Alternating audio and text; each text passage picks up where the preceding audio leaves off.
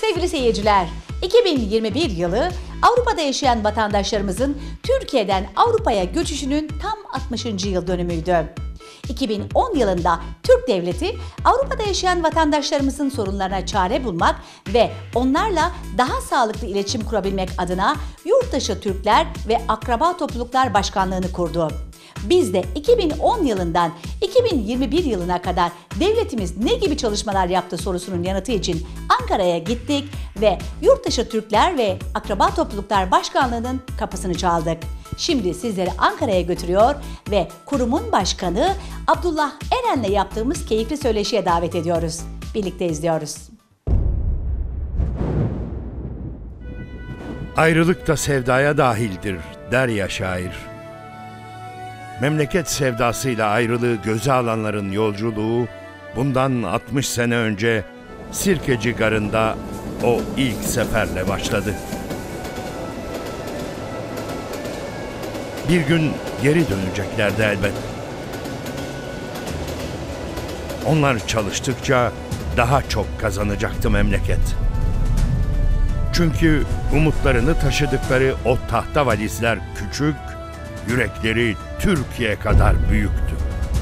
Bir yıl diye yola çıkılan ama nesillere yayılan zorlu hikaye böyle başladı. Zordu. Çünkü her damlası özlemle dolu alın teri vardı. Zordu çünkü diline, kültürüne yabancı olduğun ülkede bir başına kalmak vardı. Memleket hasreti her gece dört duvardı. Zordu çünkü dostluğun yanında düşmanlık da vardı. Sevgili seyirciler, bu yıl bildiğiniz gibi Türklerin Avrupa'ya göçüşünün 60. yıl dönümü. Biz de 2010 yılında yurt dışında yaşayan yaklaşık 6,5 milyon e, Türk vatandaşının sorunlarına çare üretmek ve onların ana vatanla olan aidiyet duygularının geliştirilmesi için kurulmuş olan Yurttaşı Türkler ve Akraba Toplulukları Başkanlığındayız. Yanımızda kurumun başkanı Sayın Abdullah Eren Beyefendi var. Dedik ki 60 yılda Türkler nereden nereye gelmişler? E, 2010 yılında kurulan başkanlık ee, acaba bugüne kadar neler yapmış, neden kurulmuş kendilerinden dinleyelim istedik. Bir merhaba diyelim bakalım bize e, neler anlatacaklar. Efendim merhabalar. Merhaba Gülbahar Hanım, hoş geldiniz, sefalar getirdiniz. Hoş bulduk, çok teşekkür ediyorum. Ee, çok başarılı çalışmalar yapıyorsunuz. Ben de Avrupa'da yaptığım programlarda bunları görüyorum. Öncelikle sizi tebrik ediyorum. Teşekkür Ee. Yurt dışında yaşayan vatandaşlar adına da teşekkür ediyorum. 2010 yılında kuruldu kurum e, Yurt Dışı Türkler ve Akraba Topluluklar Başkanlığı. Biraz böyle ilk sanki iki anlamı var gibi geliyor. İsterseniz kuruluş amacından bir başlayalım. Hemen kurumdan bahsedeyim. Öncelikle ATV Avrupa izleyenlerine hayırlı günler diliyorum. Ee, ATV Avrupa yaptığı yayınlarla Avrupa'da yaşayan vatandaşlarımızın yanında oluyor ve olmaya da devam ediyor. Öncelikle kanal sizin şahsınıza kanala teşekkür ediyoruz. Tabii Avrupa Vizyon programı e, yurt dışının farklı yerlerinde yaşayan vatandaşlarımızın Türklerin başarı hikayelerini ekrana taşıyor.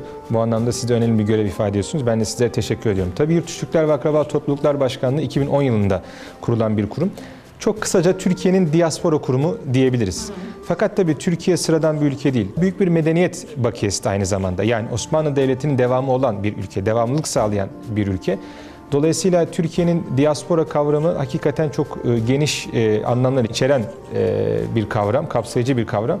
Bu anlamda Yurt Dışı Türkler ve Akraba Topluluklar Başkanlığı 2010 yılında ihtas edildiğinde Sayın Cumhurbaşkanımızın Başbakanlığı döneminde birkaç maksatla kuruldu. Öncelikle tabii 2002 yılından itibaren Türkiye'nin dış politikasında bir paradigma değişimi oldu. Nedir bu paradigma değişimi? Türkiye öncelikle tarihinden ve kültüründen gelen zengin geçmişiyle ve artan nüfusu, büyüyen ekonomisi, e, toplumsal yapısının çeşitliliği, Doğu ve Batı arasında kalması, kültürel çeşitliliği bunların da e, katkısıyla dış politikasında bir e, paradigma değiştirdi. Nedir bu? Tek başına Batı eksen dış politikayı bir kenara bıraktı. Tabii ki o da hala devam ediyor. Ama Türkiye'nin bu zengin birikimiyle dünyanın her tarafıyla, tüm coğrafyalarıyla, Uzak Asya'dan Afrika'ya kadar, Balkan coğrafyasından Kafkasya'ya kadar, Kuzey Afrika'dan Orta Doğu'ya kadar, Türkistan coğrafyasından e, Doğu Avrupa'ya kadar farklı coğrafyalarla kendisi gibi olarak e, iletişim kurabileceğini, ilişki kurabileceğini Türkiye e, fark etti büyük ölçüde. Ve bu politikasını geliştirdikçe rağbet de gördü. Bu rağbetin çerçevesinde de Türk dış politikasında klasik diplomatik enstrümanlarımızın yanı sıra Şu an işte akıllı güç, smart power diye tabir edilen, bundan bir 8-10 yıl evvel soft power, yumuşak güç diye tabir edilen, eğitim, kültür alanında, sosyal alanlarda, insani kalkınma alanlarında faaliyet gösteren ve Türkiye'nin sesini duyuran, Türkiye'nin elini farklı coğrafyalardaki insanlara uzatan bir dış politika anlayışı.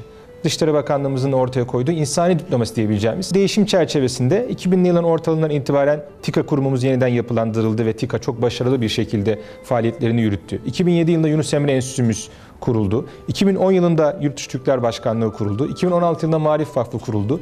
Bu zaman zarfı içerisinde STK'larımız, hem kamu STK'larımız hem de sivil toplum kuruluşlarımız dünyanın farklı yerlerinde yardım çabalarına, çalışmalarına girdiler ve Türkiye'nin bu anlamda muazzam bir birikimi oluşmuş oldu. İşte tüm bu dış politika paradigma değişiminin ortasında Yurtdışı Türkler ve Akraba Topluluklar Başkanlığı da Türkiye'nin yurt dışında yaşayan vatandaşları, yurt dışında yaşayan vatandaşları dediğimizde de hususen sizlerin de program yaptığı 1961'de Almanya ile imzalanan iş gücü kapsamında başta Almanya olmak üzere sonra Fransa, Belçika, Hollanda, Avusturya gibi ülkelere çalışmaya giden vatandaşlarımız, onların torunları, çocukları bugün dördüncü nesile varan Avrupalı Türkler, birinci faaliyet alanımız o.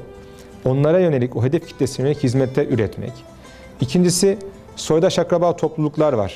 İşte ben de aslında bir Balkan kökenliyim, Batı Trakyalıyım. Batı Trakya şu an Yunanistan sınırlarında kalan Meriç, e, Karasu arasında bir coğrafi bölge. E, Kafkaslar'da, Orta Doğu'da, Kuzey Afrika'da bizim akraba topluluklarımız var.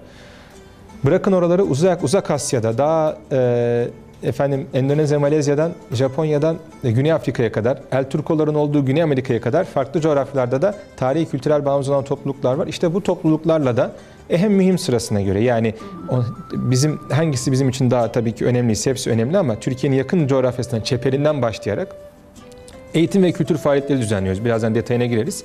Üçüncü olarak da uluslararası öğrenci burslandırıyor YTB. Şu an Türkiye'de 15 bin uluslararası öğrenci eğitim alıyor üniversitede. Bunlar yabancı arkadaşlar, yabancı öğrenci.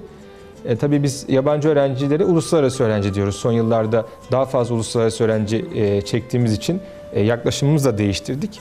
E, dünyanın 170 ülkesinden de öğrencimiz var. Tabii YTB bunları yaparken, YTB kısa adımız, Bizim ana faaliyet alanımız bir diaspora kurumu olarak yurt dışındaki vatandaşlarımız. Dolayısıyla bugün biraz daha onları konuşmak isteriz. Yurt dışındaki vatandaşlarımız tabii Türkiye'nin e, gurur vesilesi. Türkiye için çok büyük kazanımlar, e, uzun yıllar ekonomik kazanımlar, daha sonra e, sosyal kazanımlar, siyasi kazanımlar sağlamış bir topluluk. E, Avrupalı Türkler zor şartlar altında çalışmış, bugünlere gelmiş e, ve Türkiye'nin geleceğinde de çok önemli rol oynayacağına inandığımız e, bir kitle Avrupalı Türkler.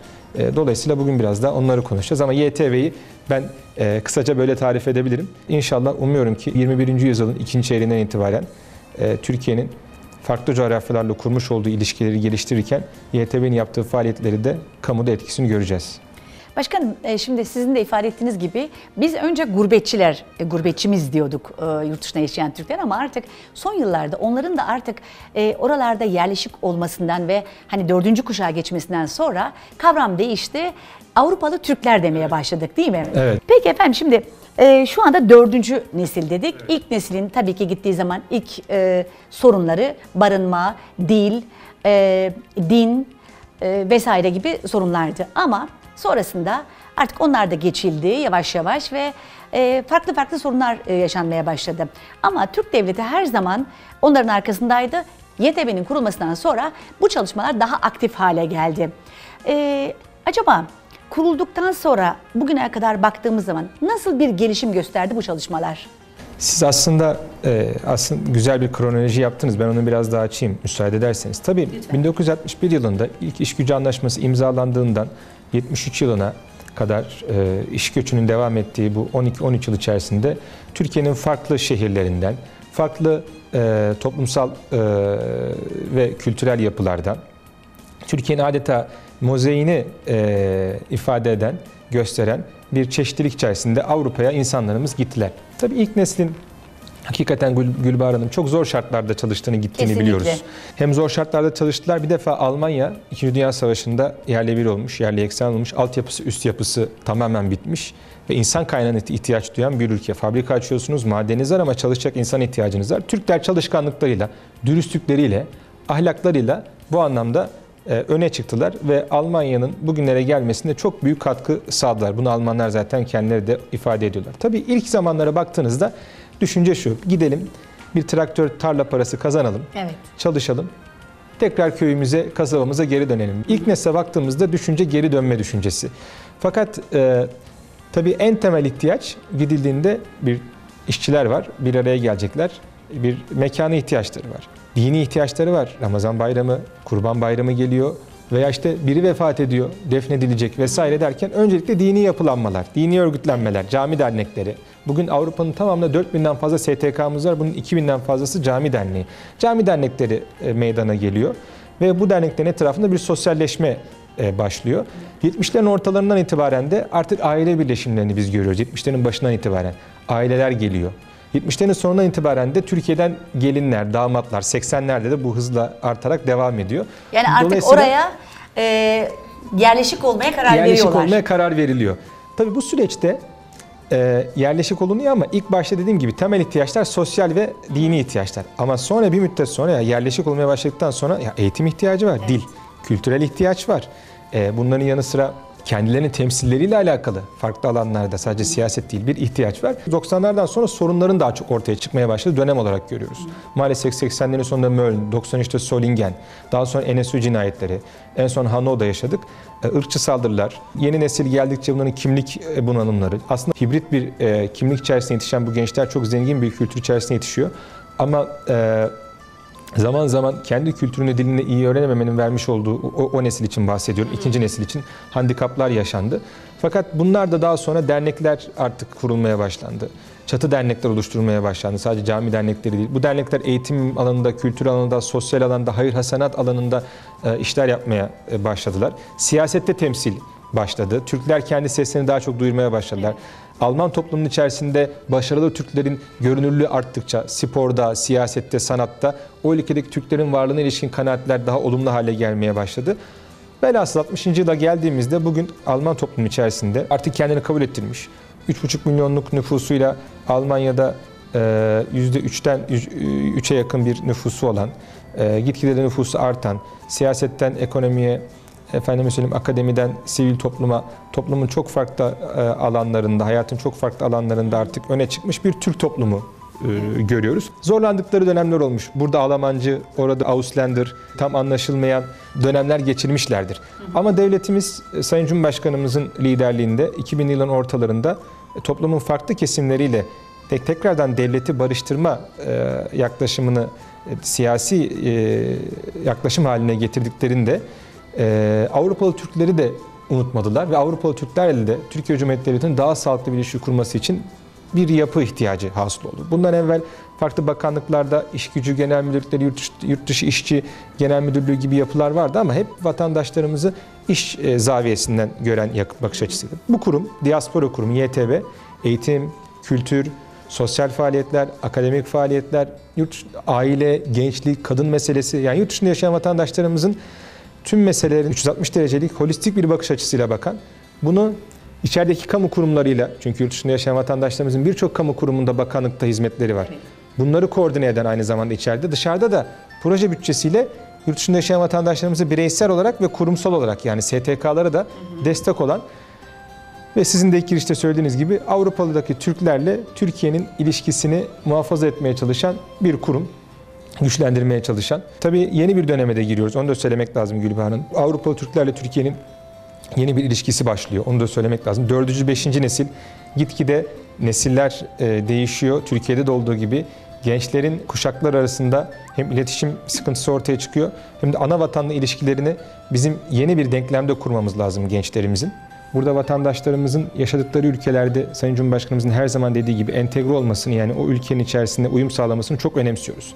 Fakat biz uyum sağlamakla ana vatanda bağların korunması arasında dışlayıcı bir ilişki görmüyoruz. Yani bir insan bir e, Türk veya herhangi başka milletten, etnisiteden biri kendi ana vatandaşında yaşadığı bir ülkede o ülkeye sadakatle bağlı da olabilir. O ülkenin gelişmesine katkı da sağlayabilir. Vergisini de orada verebilir. Askerliğini de orada yapabilir. O ülkenin ekonomisine katkı sağlar. O ülkenin gelişmesi için farklı alanlarda çalışmalar da yapabilir.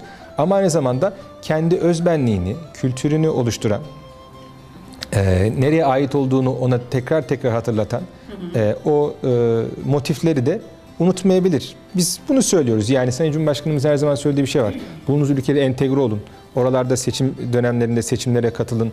e, o topluma katkı sağlayın diye. Ama Türkiye'de bağınızı koparmayın. Koparmayın. Ve gün sonunda bunun da e, çok zor bir denklem olduğunu düşünmüyoruz biz. Uygulanabileceğini düşünüyoruz. Ama burada temel e, sıkıntı açık söylemek gerekirse vatandaşlarımızdan kaynaklanmıyor. Avrupalı Türklerden kaynaklanmıyor. Avrupalı Türkler bunu çok iyi uygulamaya çalıştılar. Maalesef ilgili ülkelerin uygulamalarından e, kaynaklanıyor. Avrupa'daki ülkelerde son yıllarda maalesef e, artan bir e, İslamofobi, İslam düşmanlığı ve ırkçılık Maalesef. olduğunu görüyoruz. Ve bunun yavaş yavaş kurumsal hale geldiğini, hatta eyalet, hatta bırakın eyaleti federal parlamentolarda Türk Müslüman derneklerin veya yabancı derneklerin, yabancıların kurduğu onlara göre derneklerin faaliyet alanlarını sınırlandıran bir takım uygulamaların soruşturmanın açıldığını, zaman zaman mevzuatların çıkarıldığını görüyoruz. Şimdi yeni bir çalışma başlattık. E, nevsam.ytb.gov.tr diye nefret suçlarıyla mücadele bir web sitesi.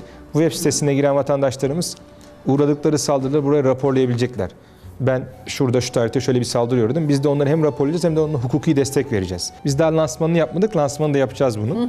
Orada daha çok duyuracağız basın mensuplarımıza. Avrupa'da tabii vatandaşlarımıza yapılan saldırıları raporluyoruz. Her sene 2021 raporu da çıkacak. Bu 2020 raporu. Yurt dışında yaşayan vatandaşlarımıza hedef alan saldırılar. Tüm Avrupa'da bu. Ee, tabii bunlar bizim misyonlarımıza, büyükelçiliklerimize e, bildirilen, Diyanet İşleri Başkanlığımızın camilerine yapılan, diğer derneklerimizin de- dernek lokallerine, camilere yapılan ve bizim basından derlediğimiz ve kurumumuza ulaşan saldırılar. Bunların dışında belki bunun 2-3 katı daha fazla saldırı da oluyor. Şimdi onları da toplamak için böyle web sitesi açtık. Burada e, gün gün nerede ne saldırısı olmuş, hangi türde saldırı olmuş bunların hepsini e, kayıt altına alıyoruz. Fransızca, Almanca ve İngilizce de bunları çıkartıyoruz. Şimdi e, bir de insan hakları güncesi çıkartıyoruz. Malumunuz hep meşhurdur. Türkiye'nin insan hakları ile alakalı e, raporlarını Avrupa Birliği yıl yıl çıkartır. Amerika'da Hep çıkartır. olumsuz Evet. durumlardan. Biz de e, dedik ki ya bizim yurt dışında insanlarımız yaşıyor ve bu insanlarımıza yönelik çok ciddi hak ihlalleri var saldırıların dışında. Yani eğitim hakkıyla alakalı, e, istihdam hakkıyla alakalı e, burada 20'den fazla kriter var Avrupa Birliği'nin kriterleri. O kriterlere işte adalete erişim, çalışma hakkı, çeşitliliğe saygı, din ve vicdan özgürlüğü, eğitim hakkı, güvenlik hakkı, ırkçılık ayrımcılıkla mücadele, özel hayata saygı, vatandaşlık hakkı, seyahat ve ikamet özgürlüğü gibi bu 20'den fazla maddede Avrupa ülkeleri hangi uygulamaları negatif veya pozitif veya hangi mevzuatları geçirmişler. Ya aslında vatandaşlarımız yaşadığı ülkelerin e, karnesini çıkartıyoruz. Mesela Almanya'da 58 tane olumlu e, gelişme olurken 67 tane de olumsuz gelişme var vatandaşlarımızın veya Müslümanların aleyhine. Bunları Fransa'da maalesef sadece 4 tane olumlu gelişme varken o 31 tane olumsuz e, gelişme var. Bunun ismine de Hak ve Özgürlükler Güncesi koyduk. Yıl yıl bunları çıkartıyoruz böyle. Evet. Ve bunun İngilizcesine çıkartıyoruz. Bunu çok çok önemsiyoruz. Bunlar tabii meydan okumalarımız. Avantajlarımız yüksek öğrenim seviyemiz gitgide artıyor. Artık işte Almancayı, Fransızcayı, Flemenkçeyi hangi ülkede yaşıyorsa çok iyi konuşan, Türkçeyi de çok iyi konuşan ve üçüncü bir dil olarak İngilizceyi de 20'li yaşlarda iyi bilen, yüksek öğrenimde çok kaliteli bir neslimiz geliyor. Farklı alanlarda e, kaliteli eğitim almış iyi bir neslimiz geliyor. Bunlar siyasete daha çok giriyorlar. Türkiye'ye bakışları çok olumlu. Türkiye'de çok büyük katkı sağlayacak bir zihni formasyonla yetişiyor hem bu zihni formasyonlarında, bu kültürel alışkanlıklarında, analitik ve eleştirel düşünme yeteneklerinde ve kendilerini iyi yetiştirmelerinde Türkiye için büyük bir fırsat olduğunu düşünüyorum. Bence Türkiye önümüzdeki dönemde bu kitlenin Türkiye'nin 21. yüzyılın ikinci yarısında bilhassa e, Avrupa ile ilişkilerinde veya ikinci çeyreğinde çok büyük katkı sağlayacağını e, düşünüyorum. E, avantajlarımız bence dezavantajlarımızdan daha fazla. Avrupalı Türklerin geleceği kesinlikle çok daha parlak. Başkanım şimdi e, ben de Avrupa'da yaptığım programlarda bir şeylere dikkat ediyorum. Şimdi e, birinci nesil evet, ikinci nesil yine e, Türkiye'deki gibi yaşıyor ama üçüncü nesil ve dördüncü nesil şu andaki nesil inanılmaz Türkiye'ye bağlılar. Fakat bir problem var. Kendi alanlarında çok başarılı olmalarına rağmen maalesef ki dil konusunda biraz böyle Almanca ve Türkçe karışımı bir dil konuşuyorlar. Bununla ilgili acaba YTB özellikle dil konusunda e, Avrupa'da yaşayan vatandaşlarımızın dillerin geliştirilmesi konusunda özel bir çalışma yapıyor mu? Tabii şunu ifade etmek lazım. Yani dil kültürün taşıyıcısı. Dilimiz Kesinlikle. e, dilimiz e, olmadan ve o dilin içerisinde e, olgunlaşan kavramlar olmadan e, kendimizi doğru bir şekilde ifade edemeyiz. E, tüm kurumlarımızda, Milliyetin Bakanlığımızın göndermiş olduğu Türkçe ve Türk Kültürü öğretmenleri, inşallah önümüzdeki dönemde Marif Vakfımızın açacağı oradaki okullar, Yunus Emre Enstitümüzün daha aktif hale gelmesiyle, derneklerimizin verdiği Türkçe dersleriyle, sosyal medyanın, dijital medyanın Türkçe eğitimiyle alakalı daha aktif kullanılmasıyla beraber inşallah e, bu anlamda çalışmalarımızı hızlandıracağız. Bizim YT olarak yaptığımız çalışmalar tabii var. Ama ben de şunu görüyorum. Ee, bir önceki nesle göre de Türkçeyi öğrenenler mesela daha net öğreniyor. Yani mesela biz yazarlık akademisi diye bir çalışma yapıyoruz. Onu ifade edeyim burada hemen. Ee, yazarlık akademisi çalışmamız. Ee, Avrupa'da doğduğu ülkenin dilini ve ana dillerini iyi konuşabilen artık iki ana dilli gençlerin çıkarmış olduğu bir dergi bu Telve dergisi. Biz bu genç arkadaşı nerede bulduk? Avrupa'da yazarlık akademisi yaptık. Yazarlık Akademisi hatta şu an Strasbourg'da yine yapılıyor bu hafta. Yazarlık Akademisi'ne katılan gençlerle 30'a yakın gençle bu dergiyi çıkarmaya başladık. Bunlar işte Avrupa'da doğmuş büyümüş mesela Almanya'nın Krefeld şehrinde doğmuş Mehmet kardeşimiz. Hemen açıyorum. Demet Hanım, Demet kardeşimiz Almanya'nın Kassel şehrinde doğmuş. İşte sosyal hizmetler mezunu, gençlik dairesinde çalışıyor. Ee, Rümeysa Viyana'da dünyaya gelmiş. Bu genç arkadaşlarımızla biz bu dergiyi çıkartıyoruz. Yani bir Avrupalı Türk edebiyatı oluşturulması yönelik bir çalışma içerisindeyiz şu an. Dolayısıyla ben bunu şunun için ifade etmek istiyorum. Çok fazla gencimiz var. Hepsine ulaşmamız mümkün değil. Ulaşmaya çalışıyoruz. Ee, mutlaka bilincin artması lazım. Ee, fakat iyi Türkçe konuşan ve hatta yazarlık derecesinde bu işi devam ettiren gençler de var. Ama biz yine faaliyetlerimize şöyle devam ediyoruz. Öncelikle Türkçe Saati projemiz var hafta sonu okulu diye de tabir edebildiğimiz nedir bu? Derneklerimize diyoruz ki dernek merkezlerinde Türk çocuklarına ister anaokulunda ister işte 6-9 yaş arası, 9-12, 12-15 yaş arası çocuklara Türkçe eğitim verelim. Bunlar okullarda da olabilir. Eğer yapabiliyorsanız ilgili belediyeden, eyaletten okul alabiliyorsunuz. Okulların içinde de yapın. Olmuyorsa dernek merkezlerinizde yapın. Biz size belli bir maddi destek verelim. Bu çerçevede hafta sonları 2-3 saat çocuklara Türkçe öğretin. İkincisi çift dil eğitim programımız var. Çift dil eğitimi çok önemsiyoruz. 3-6 yaş arasında çocuklarımız iki dilli bir anaokulu eğitimi alırlarsa kendi dillerini daha iyi öğrenirler ve yaşadıkları ülkenin dilini de çok daha iyi öğrenirler diye. Çift dil eğitim programı çerçevesinde derneklerimize aynı şekilde destekler veriyoruz. YTB Türkçe ödüllerimiz var. Ee, Avrupa'da yaşayan gençlerimiz aynı zamanda e, sadece genç olmasına gerek yok. Yetişkinlerin de katılabileceği e, hikaye, öykü, şiir, deneme alanında e, hatta roman yazanlar var. E, Türkçe ödülleri düzenliyoruz. Bunun yanı sıra senaryo okulumuz var. Avrupa'da Anadolu okuma evleri açıyoruz. Şu an e, 7 ülkede 32 tane kütüphanemiz var.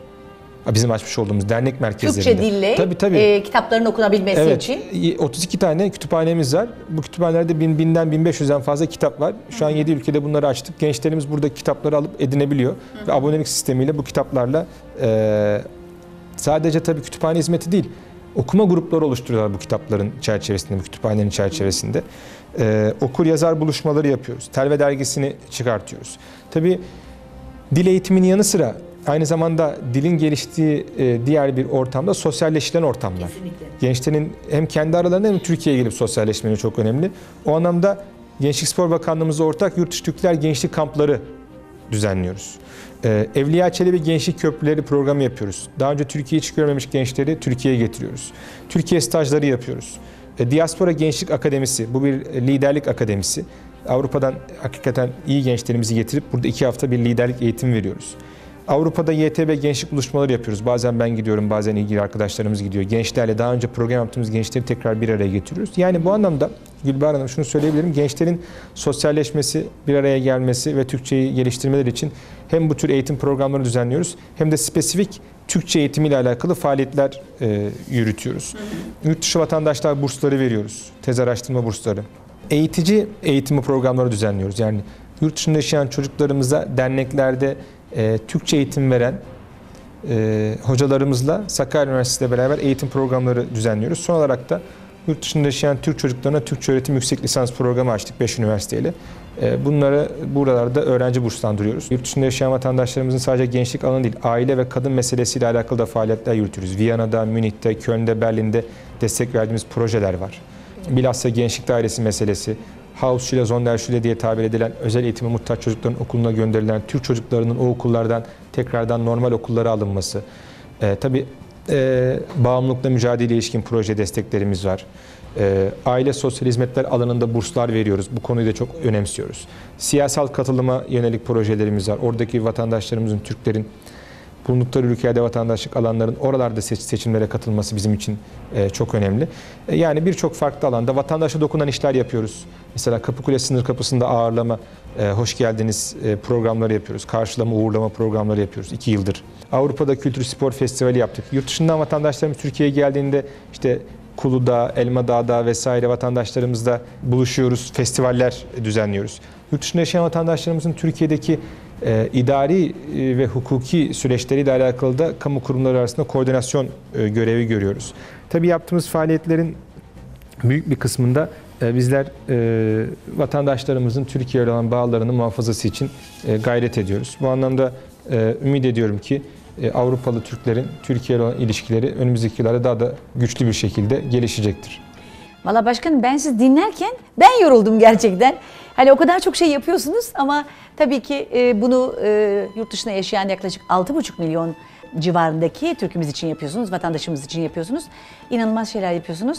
Yani e, sizi dinleyen yabancı ülkelerdeki, yurt dışındaki Türkler ya artık devletin bana sahip çıkıyor. Benim buradaki durumumu, konumumu, her şeyimi daha çok e, takip ediyor, daha yakından takip ediyor. Ve benim için var diye sanıyorum herhalde sizi dinleyenler gururla dinlemişlerdir. Şuna emin olsunlar. Türkiye Cumhuriyeti Devleti'nin e, diaspora kurumu olarak Sayın Cumhurbaşkanımızın talimatlarıyla, Sayın Bakanımızın destekleriyle bizler YTB olarak açıkçası yurt dışında yaşayan vatandaşlarımızın lehine olabilecek her türlü uygulamayı yapmaya veya e, diğer kamu kurumlarının yapmasına e, gayret ediyoruz. Ben her zaman söylüyorum diyorum ki Avrupa'da STK'lara buluştuğumuzda Türkiye'de sizin bir kurumunuz var ve Türkiye'de Avrupalı Türklerin aslında e, tabiri caizse lobisini yapan onların e, maslahatını gözeten bir kurum var YTB diye. Devletimize güvensinler, itimat etsinler. Başka ülkelerin, hükümetlerin kolay kolay dayanamayacağı, devletlerinin kolay kolay kaldıramayacağı, stres yükünün yoğun olduğu önemli süreçlerden Türkiye alnının akıyla çıktı. Ne kadar toplumsal mukavemeti ne kadar güçlü, aynı zamanda devlet organizması yapısı ne kadar kendi içerisinde teşkilatlı ve karar alabilen, uygulayabilen bir devlet olduğunu Türkiye'ye gösterdi. Ee, Biz de kurum olarak 11. yılımızdayız. Ben kurumun dördüncü başkanıyım. Bundan sonra yine daha başarılı bir şekilde kurumumuz faaliyetlerine de yükselen bir grafikle devam edecek. E, Bu anlamda e, Türkiye bu diasporik bakış açısıyla da inşallah iç politika, dış politikasına yön vermeye devam edecek. Avrupalı Türkler yalnız değil, söyleyelim. Sevgili seyirciler gördüğünüz gibi kurumun başkanı Sayın Abdullah Eren genç ve çalışkan bir başkan. Onun gibi bütün ekibi de öyle. Siz şu anda görmüyorsunuz ama kameranın arkasında diğer arkadaşlarımı ben de görüyorum. Hepsi gerçekten çok genç, dinamik ve hani böyle e, koşturan, e, çalışmak için e, bir şeyler yaratan, sürekli e, yaratan e, bir ekipleri var. Gerçekten tebrik ediyorum sizi. Peki dedik ki 60. yıl, 60 yıl oldu. Türkler ilk önce Almanya'ya gittiler, ardından Avrupa'nın farklı ülkelerine gittiler. Ee, siz de 60. yılla ilgili elbette ki çalışmalar yaptınız, organizasyonlar yaptınız. Kısaca bir de onları alalım isterseniz. Tabii pandemi e, tüm dünyayı felç ettiği, paralize ettiği gibi Maalesef. faaliyetleri bizi de etti. Biz aslında geçtiğimiz yıl Türkiye'de büyük bir yurt dışı Türkler buluşması yapmayı planlıyorduk. Çünkü bizim gibi yurt dışında yoğun vatandaş sayısı olan ülkeler belli aralıklarla e, diaspori buluşmaları yapıyorlar. İki yılda, üç yılda bir tüm dünyanın farklı ülkelerinden vatandaşlarını, dernekleri, tematik dernekleri, profesörlerini, akademisyenlerini, iş insanlarını topluyor ve bir istişare toplantısı 3-4 günlük. Aynı zamanda ülkenin de kapasitesini onlara gösteriyorlar. Biz böyle bir ilk buluşmayı yapacaktık 2020'de. 2020 Kasım ayında hatta şöyle 4-5 günlük güzel bir buluşma yapacaktık. Fakat pandemi buna mani oldu. 2021'de yapalım dedik. Yine pandemi devam etti bu tür büyük buluşmalar için ama 60. yılla alakalı etkinliklerimizi yaptık. Öncelikle e, Berlin'de Büyükelçiliğimizde 30 Ekim'de e, Kuşaktan Kuşağa 60 yılda Türk Diasporası programını yaptık. E, yaşlılarımız, birinci neslimiz vardı. 300 seçkin davetliyle bunu yaptık. E, bu seneye özel Uluslararası Diaspora Kısa Film Festivali'ni düzenledik. Uluslararası Diaspora Kısa Film Festivali. Beyoğlu'nda Atlas Sineması'nda bunun e, açılışını yaptık. 24 filmden 7'sine ödül verildi. Toplam 3123 başvuru geldi 6 kıtadan. 24 e, yabancı katılımcımız vardı. E, 60. yıla özel İnsan Hazineleri serisi çektik 45 tane. Birinci nesilden yaşlı amcalarımız, teyzelerimiz fabrikalarda çalışmış, e, kocasına destek olmuş veya kendisi de işçi olarak çalışmış büyüklerimizin hikayesini dinledik. Almanya'da Türk varlığının 60. yılına ilişkin bir akademik sempozyum da düzenliyoruz. Türk-Alman Üniversitesi ile Ocak ayında. Türk-Alman Üniversitesi ve YTB işbirliğinde. Almanya'da Türk Diasporası'nın Atlası isimli bir prestij kitap. Yani Türk diasporası ne zaman geldi buraya? Hangi bölgelerdeler? Nüfusumuz neler? Neler yaptılar? Ne durumdalar? Ee, Bunu gösteren bir e, prestij kitap. Sosyal medyaya ve dijital medyanın e, gündemine çokça düşen Söyle Almanya klibi çıktı. 60 yıl hattında Söyle Almanya. Onu biz destekledik.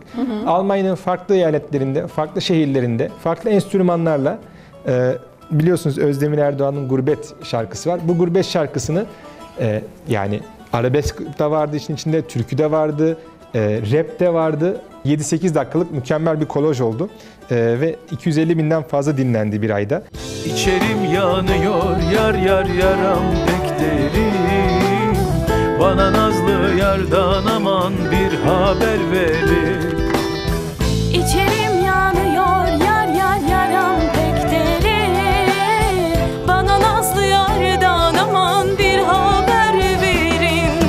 60. yıl kamu spotu hazırladık. Avrupalı Türkler sizlerle gurur duyuyoruz diye bitiyor. 45 saniyelik bir kamu spotu. Rütük sağ olsun e, bize destek oldu bu konuda. Ve bu kamu spotunda da Avrupa'daki tüm Türkleri, Almanya'dakiler başta olmak üzere teşekkür ediyoruz. Çok güzel bir kamu spotu. E, iki e, sekans var yani iki e, sahne var kamu spotunda. İlk sahnelerde işte birini cezaevinde zannediyorsunuz, birini tamir yaparken zannediyorsunuz, birini işte gurbetten mektup gelmiş onu okurken ağlıyor zannediyorsunuz ama halbuki cezaevinde gördüğünüz kişi Türk kökenli bir Alman ve çok meşhur bir oyuncu. Ee, o bir sahne orası, sonra kesiliyor orası. Ee, fabrikada işçi olarak gördüğünüz kişi aslında kendi fabrikasının tabelasını asıyor. Çalıştığı fabrikaya patron olmuş. Diğer mektup okuyan yaşlı amca aslında e, gurbetten mektup okumuyor. Torunu Alman devletinden, Alman bir vakıftan burs kazanmış. Onun mutluluğu. Yani Avrupalı Türklerin e, 60 yıllık hikayesinde nereden nereye geldiğini gösteren güzel bir kamu spotu. Ee, yine Kuşaktan kuşağa Almanya'da Türk Diasporası panel serisini yaptık. 7 ayrı panel düzenledik. Ocak'tan itibaren onlar bitti. Frankfurt'ta Frankfurt'ta bir Türk Tiyatro Festivali var. Her sene düzenleniyor. Onlarla 60. yıl e, korteji yaptık ve bu kortejde hakikaten Türkiye'den sanatçılarımız da vardı. Güzel bir çalışma oldu.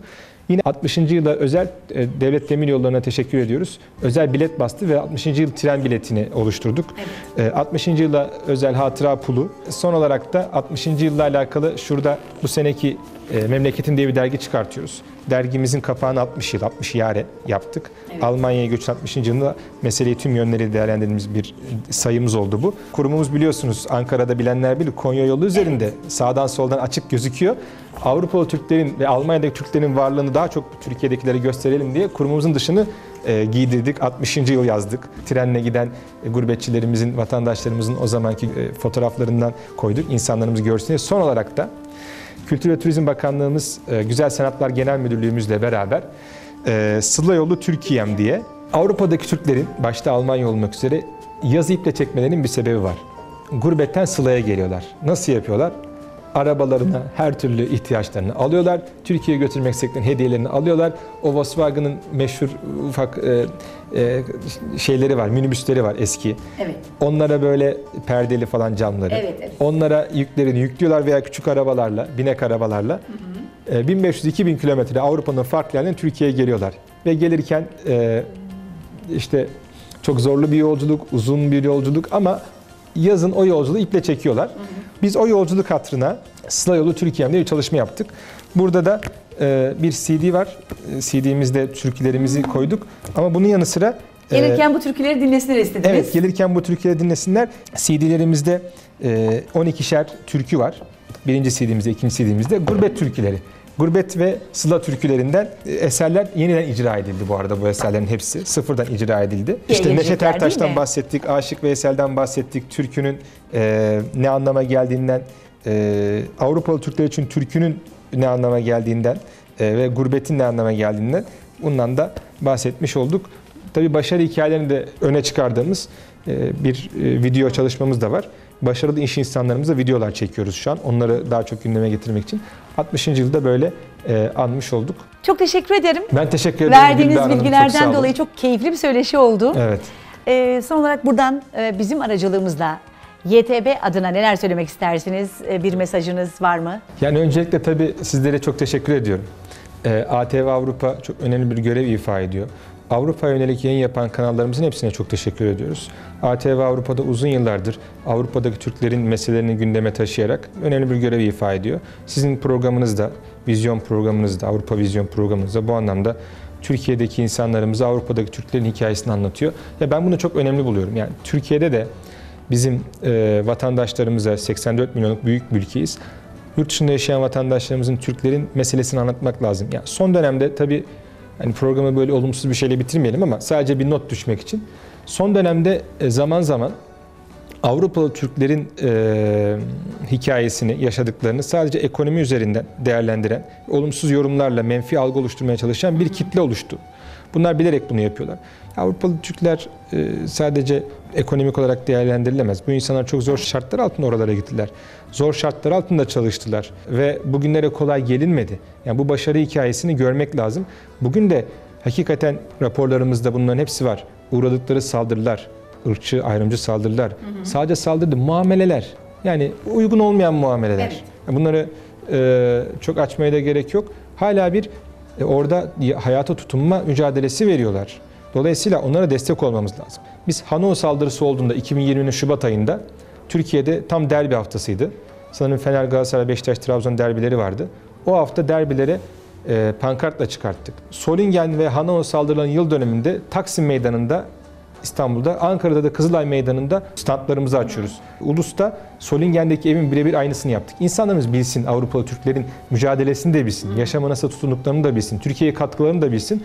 Bu anlamda bunu da çok önemsiyoruz. Sizin programınız da burada göre, önemli bir görev ifade ediyor. Bu anlamda da teşekkür ediyoruz. Ben de sizlerin aracılığıyla bizleri izleyen tüm kıymetli izleyenlerimize, e, Avrupa'nın her tarafından bu yayını izleyenlere çok teşekkür ediyorum. Kalbi selamlarımı e, gönderiyorum. YTV olarak faaliyetlerimizde yanlarında olmaya çalışıyoruz. Eksiğimiz, gediğimiz varsa kusurlar bizdendir ama elimizden geleni yapmaya e, gayret ediyoruz. Bir oldukça, beraber oldukça, e, gönlümüz, kalbimiz bir attıkça, vatanımıza, devletimize, milletimize, bayrağımıza e, gönülden bağlı oldukça e, inşallah geleceğimizde parlak olacak diye e, düşünüyorum. Cumhuriyetimizin 100. yılına giderken çok gururluyuz. Son bir senemiz içerisindeyiz. 100. yılına giderken inşallah Avrupalı Türklerin de başarının artacağını ümit ediyorum. Ben de tekrardan teşekkür ediyorum. Hayırlı günler diliyorum. Çok teşekkür ederim efendim. Ağzınıza sağlık. Sevgili seyirciler, e, Yurtdışı Türkler e, Başkanlığı'nın başkanı olan Sayın Abdullah Eren'le birlikteydik. E, 2010'dan bugüne neler yaptılar? Göç'ün 60. yıl dönümü için neler yaptılar? Onları dinledik. Dinlerken gururlandık. Ben kendi adıma gururlandım. Eminim sizler de aynı şeyleri hissetmişsinizdir. Biz buradan ayrılırken tekrar Türk Devleti'ne e, gerçekten gururla söylüyorum bunu bir Türk olarak her zaman döndüğüm zaman böyle e, ülkeme geldiğim zaman ülkemin ne kadar büyük bir ülke olduğunu anlıyorum ve gururla e, böyle e, giriyorum e, gerek Kapıkule'den gerek havaalanlarından. Bu nedenle Yurtdışı Türkler ve e, Akraba Toplulukları Başkanlığı'na teşekkür ediyorum. Yaptıkları bütün çalışmalar için sizler adına ben teşekkür ediyorum. Biz buradan ayrılıyoruz ama yeni yılın ilk vizyonu devam ediyor.